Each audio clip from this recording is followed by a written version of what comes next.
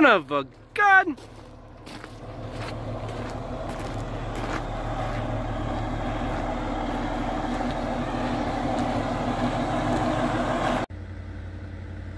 Greetings. Well, we don't have much of a load again, but uh, we're going down into the heartland of business right now is Oklahoma, so at least we can uh, hopefully rely on something coming north. But it's dang hot down there by the sounds of it. Anybody that didn't see my last video, go check it out. I busted out this window. Well, I didn't do it. Somebody busted it out. But take a look.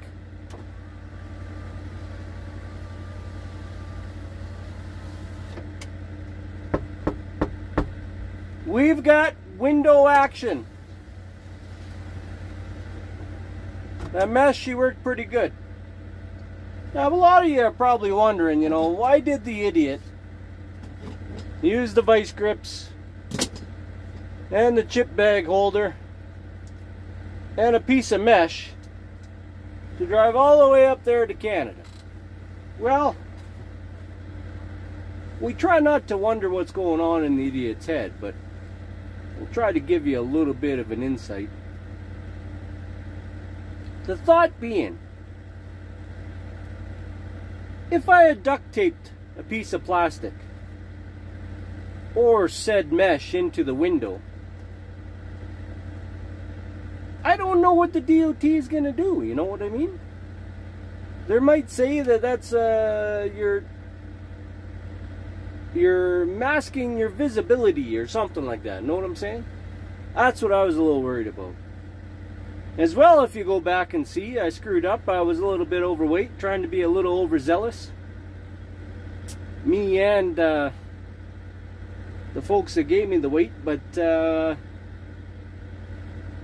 the old tummy just didn't feel right, right? So you got to listen to your inner talking sometimes. So the old spidey senses were tingling. Like, hey, I got her this far, but I think she's going to be tough, you know, taking her all the way.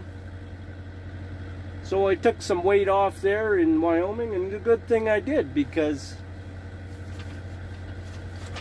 I got inspected in Montana.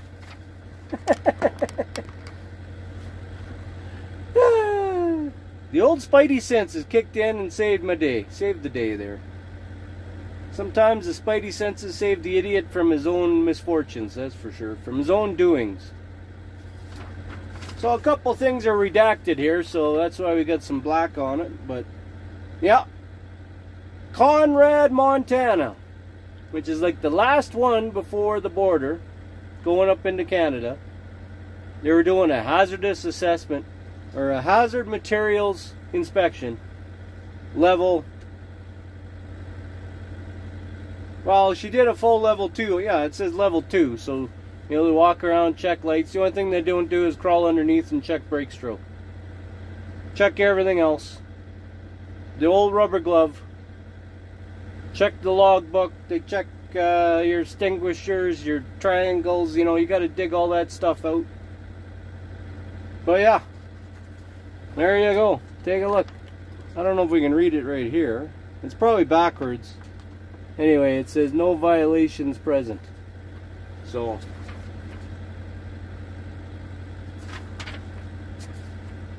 fooled them again! Darn orange truck, I tell you what. Alright, I just loaded some stuff in Calgary. We saw a short little bit there, got found a light out this morning. So that's always fun. It's always something.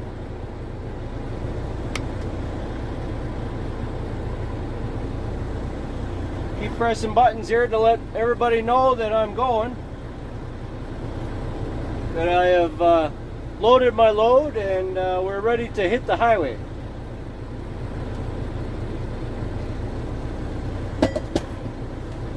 Oklahoma and Wyoming again. Let's see what we can do here.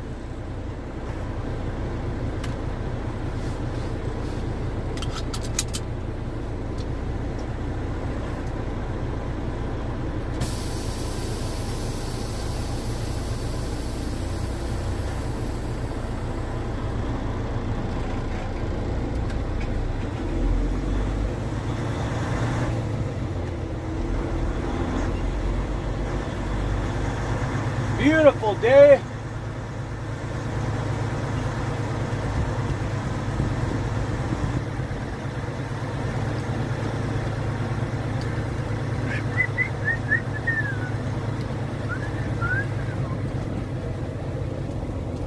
I was off for another nine days in a row there.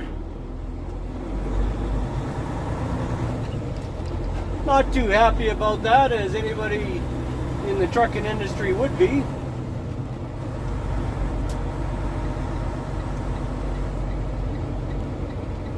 So I don't know what's going on, but the freight going south is struggling a little bit. Too many trucks. I think, anyway.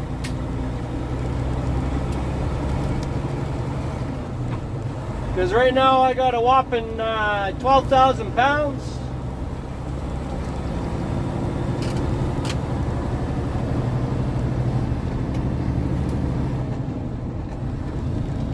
And I think uh,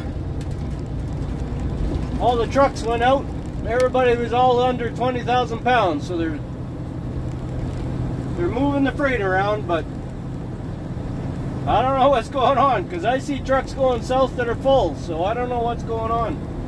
LTL trucks too, our competition, they're all full up. I don't know.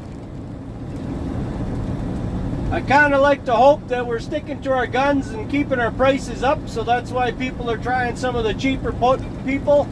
That's why our customers might be trying some of the cheaper people, I'm hoping. And if that's the case, I'm all for it.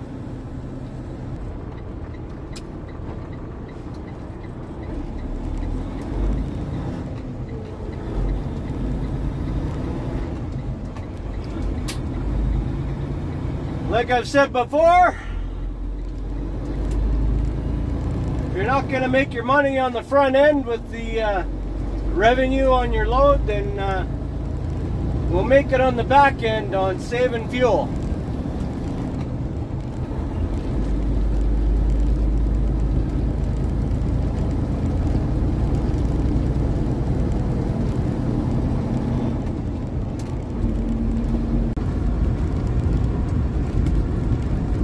Like I said, I was off for, I guess, about nine days.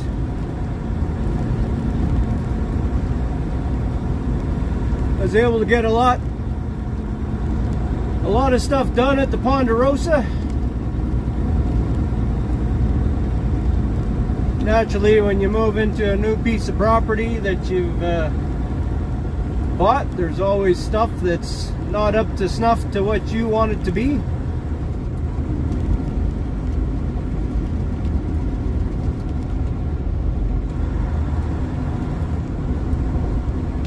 So we are doing lots of uh, lots of work. Nothing uh, too too costly.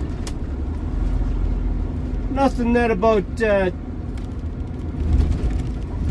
10 tubes of caulking couldn't fix, you know what I mean? And some paint. I was to take the summer off if I had uh, a good spring, but after March, she just she just died right off in my neck of the woods anyway. Not neck of the woods, but in my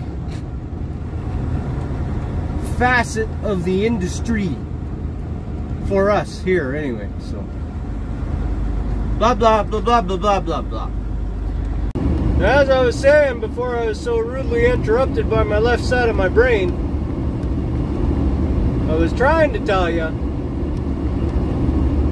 that the whole reason I was using the vice grips and the chip bag closer and all that with the mesh was so I could take it down fast. Because I came around the corner and the lights were on for that scale house, which is never open. Of course, until I go through, that's when it opens up usually.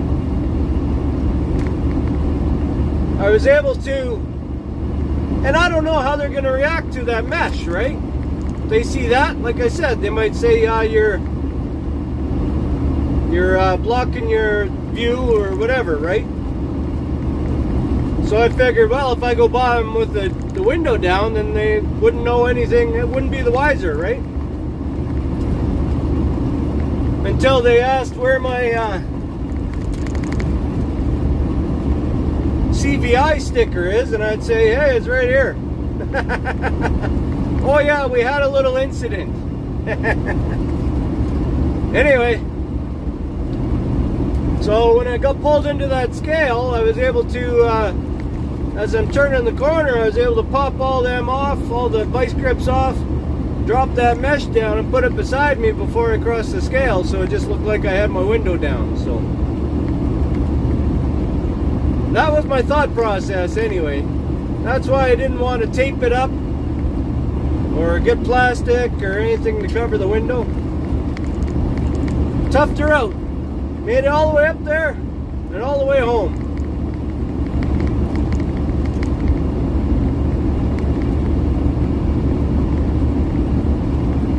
And it wasn't really any big a deal. I ordered a window at our neighborhood uh, Freightliner dealer in Red Deer. And I was planning on dropping the truck and having to be there for four or five days before they can fit you in. And they said, hey, we can get you in tomorrow if you want. I'm like, okay, how long do you think it usually takes for the window? Because I know it'll take me eight hours. Ah, I think our tech can bust it out in about three. And I said, deal.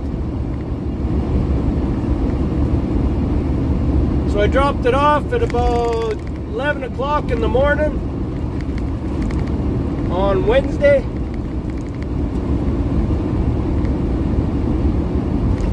They called me Wednesday at 2 o'clock, said your truck's done.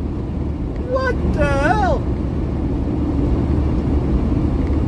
I said, what's going on? He said, yeah, we're a little slow right now. and yeah, it only took, they only charged me three hours. Money well spent. Money well spent. Well, we made it here to Hairy Town as per normal. Always beautiful sky pictures around here. Here's what I got. Nothing, nothing, nothing too, too crazy. Just the usual. And you go around, you do your post trip. We're going to shut her down here for the day. We're going to do our post trip. We're just noticing these tires. We got a little bit of cupping going on. So these tires are, uh, oh, a little bit of blood. these are almost three years old, these tires. These are the originals. They're engineered by Cooper. They're called Roadmaster. So yeah. But I was just checking everything out and then you kind of go, hey, wait a sec. That rock looks a little funny. It's not a rock, it's a nail. The good thing is, we're still holding air, so. Always walk around and look for that stuff.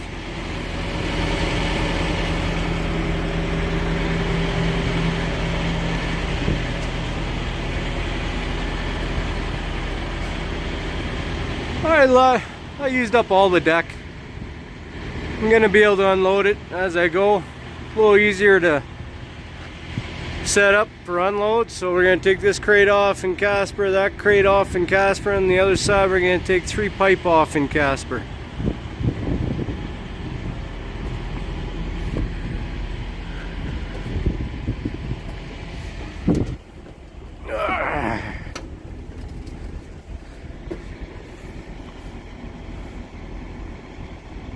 Those three pipe there, we're gonna take off in Casper as well. So that's good. Deliver some of it. That's it. Pretty easy. Too easy.